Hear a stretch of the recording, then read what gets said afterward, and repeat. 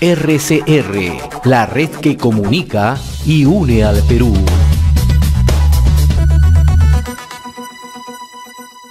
A esta hora vamos a trasladarnos hasta Ayacucho y le agradecemos la amabilidad que tiene con RCR, Red de Comunicación Regional para todo el país, al señor Humberto Morales, es congresista, militante del Frente Amplio. Qué gusto saludarlo, señor Morales. Tenga usted buenos días. Gracias por atender esta comunicación. Muy amable.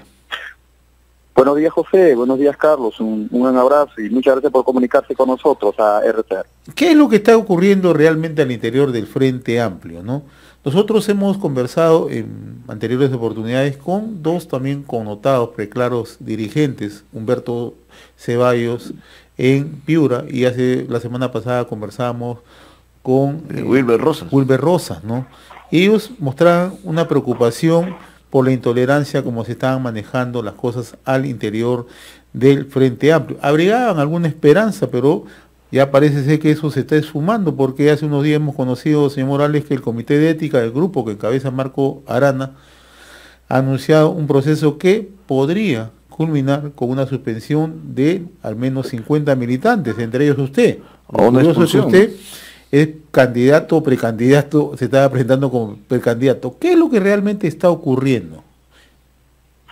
Bueno, lo, que ocurre es que eh, eh, en un proceso de elecciones internas eh, que se debió llevar en estos días, este, debió definirse pues no solo una precandidatura de presidencial, sino estamos hablando a nivel nacional de las candidaturas congresales además. Pero además también tenemos que decir de que eh, hay una intención de, eh, a nuestro criterio, de derechizar el partido. Entonces hay que sacudirse de todas las fuerzas de izquierda, aunque ellas sean mayoritarias en las filas del, partido. El Frente Amplio es una fuerza de izquierda claramente y declarada, que agrupa una mixtura de posiciones ideológicas, pero esta no está alejada pues de la línea clara de izquierda. Y entonces eh, hemos visto, y, para muestra es pues que se han colocado en el carrusel de defensa de Vizcarra, en la anterior eh, eh, vacancia, ¿no? La propuesta de vacancia, que una moción de vacancia que hubo, y hoy claramente una bancada se está cada vez más derechizando. ¿no? Entonces consideramos que esa fue una, una de las razones por la cual han entrado en un conflicto. Otras es eh, de la de índole eh, económico, que entiendo que ese es un proceso que tendrán que rendir cuentas seguramente y varios militantes están denunciando el tema. Pero el otro camino, que creo también es eh, el, el, caudillismo y el, y el, y el principio de que eh, alguien es dueño del partido. El partido no es dueño de nadie. Y entonces, como son dueños, tienen que tomar decisiones y han hecho esta situación para nosotros ilegal y obviamente no tiene ninguna justificación política. Ahora, en septiembre tuvo lugar un congreso extraordinario, ¿no? Eh, convocado por la eh, dirigencia del Frente Amplio. No asistió Marco Arana, ¿no? Ya ustedes no podían un poco percibir el temperamento de Marco Arana en ese momento que no tiene ninguna voluntad de conversar. Yo le explicaba que tanto Humberto Ceballos como Wilber Rosa señalan que intentan o han intentado conversar con Marco Arana y simplemente lo que ha hecho es cerrar la puerta. ¿Qué es lo que hay detrás? Usted también ha mencionado un tema muy importante, señor Morales, ¿no? Que no puede quedar al margen, ¿no? Que no es un tema tampoco que, digamos, de bajo relieve, como es el tema de la rendición de cuentas, porque nos explicaba la semana pasada Wilber Rosas que Marco Arana tiene que rendir cuentas por no menos de 6 o 7 millones. Ayer también lo remarcaba Humberto Ceballos en una entrevista a Canal N. Bueno, sí, ¿no? Eh, eh, y, y, aparte de eso también está el tema de que eh, hay una acción casi, y considero yo, y digamos, este, que ya todas luces, ¿ah? que habría pues una intención de romper con, un partido de, de, izquierda progresista que tiene la mayor presencia en el país, ¿no? Y, y esto me refiero a la manera como se ha reconocido un Congreso que es ilegal. La Comisión Política Nacional, José, está registrada en el Jurado Nacional. Si usted ingresa a la página, nosotros seguimos siendo dirigentes del partido. El jurado tiene que aceptar los documentos firmados, obviamente, por los dirigentes del partido, no por otras personas. Y un Congreso Nacional se convoca, lo convoca el Comité Ejecutivo Nacional, que está registrado en el jurado, porque así dice la ley. Y ellos han llevado adelante un Congreso que, este, al final, ¿quién lo firma?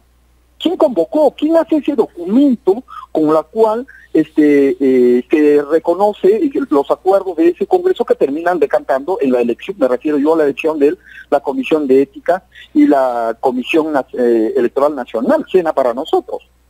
¿Quién hizo ese Congreso? Tres militantes, tres miembros de ese Comité Ejecutivo Nacional y de esa CPN. ¿Quiénes son? Marco Arana, Miriam Parra y Jorge Aparcana. Frente a otros 13, que son mayoría, que convocan una, a un Congreso Nacional. No se reconoce el Congreso donde fue convocado la mayoría, la mayoría, donde han convocado eh, los dirigentes mayoritariamente, que son 13 contra Lo que usted nos está comentando, señor Morales, es totalmente ilegal lo que usted nos está comentando, lo que está haciendo Marco Arana. Con tres, con tres militantes ha hecho un Congreso con tres dirigentes. Lo han convocado a un congreso tres dirigentes, de 16 que están registrados. Y, acá viene una pregunta. ¿El jurado nacional está yendo contra la democracia interna de los partidos? ¿O se está devolviendo algún favor que le han hecho a Vizcarra por defenderlo en, ese momento de, la vacancia y por, por la corrupción al que fue acusado? ¿Ese es el favor que le están devolviendo a Marco Arana?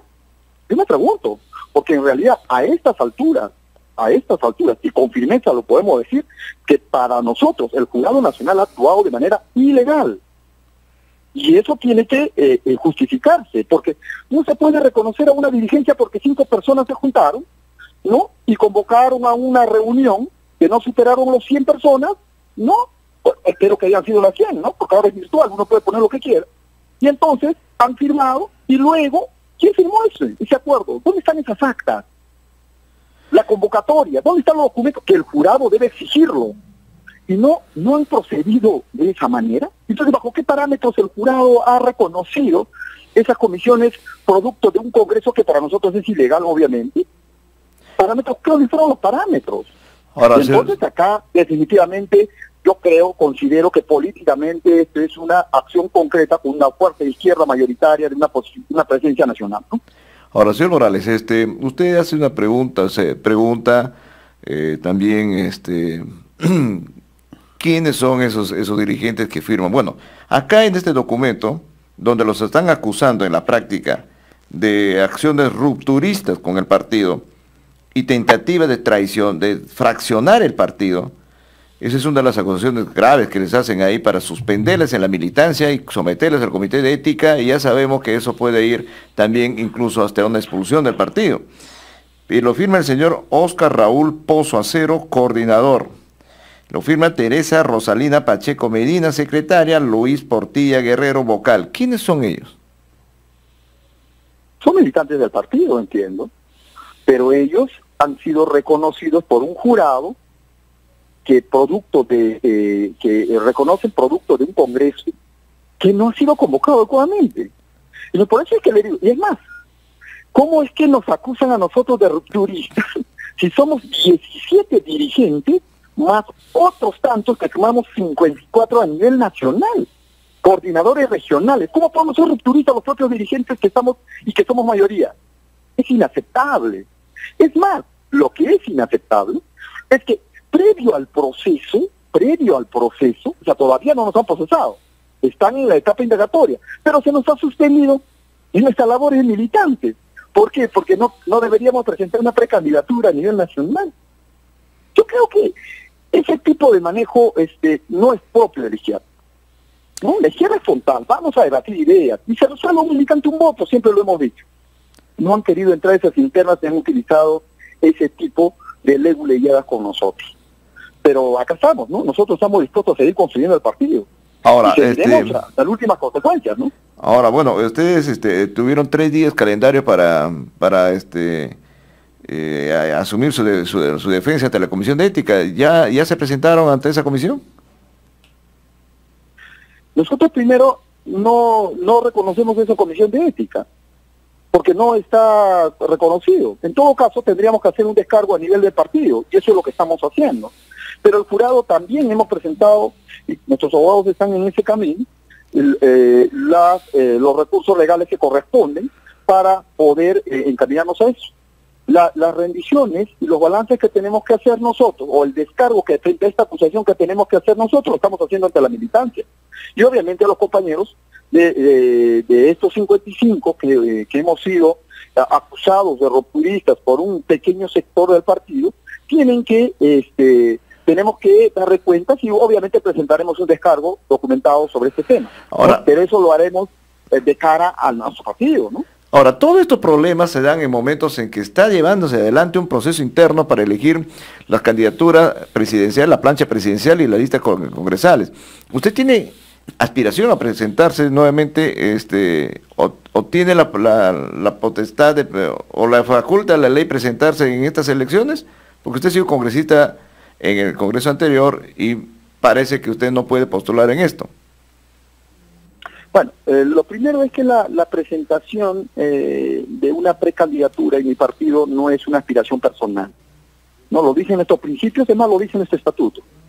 Lo segundo es que cualquier militante del partido, respaldado obviamente por su base, puede presentar una precandidatura. Por supuesto que sí. Yendo a su pregunta, quedando clarísimo de que nosotros no podemos ser reelegidos como parlamentarios, porque hemos sido parlamentarios. Nosotros no nos estamos presentando a hacer a una reelección de parlamentarios, ni, ni siquiera a la función legislativa propiamente dicha este, eh, eh, para este asunto, mm, digamos, de, de congresista, de cumplir funciones de congresista, no.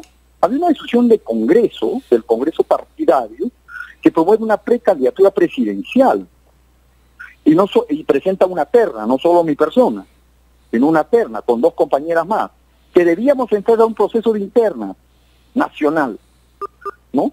Entonces, y ese era el camino para solucionar cualquier tipo de conflicto, porque así se ha solucionado siempre el Frente Amplio. Y lo que se ha hecho es impedir los procesos internos de, eh, electorales normales. Entonces, eso es lo que pasa. Pero ahora prácticamente este ante ante mucha un gran sector de la, de la opinión pública, no queda duda que ese candidato va a ser, del Frente Amplio, va a ser el señor Marco Arana. Ustedes, una vez que esto se, se dirima, si es que eh, logran finalmente esclarecer estos temas, siguen su permanencia activa en el partido, van, van a respaldar esa candidatura, un proceso, un, eventualmente esa, esa candidatura, un proceso electoral? Pero si no hay una elección interna, no tiene por qué haber un respaldo del partido. Acá se respaldan las decisiones de elecciones internas. En este momento, y aprovecho a RTR para dirigirme a mis compañeros militantes a nivel nacional, en este momento estamos procesando todo un proceso electoral, en este momento está llevando adelante un proceso electoral para la elección de la nueva Comisión Política Nacional.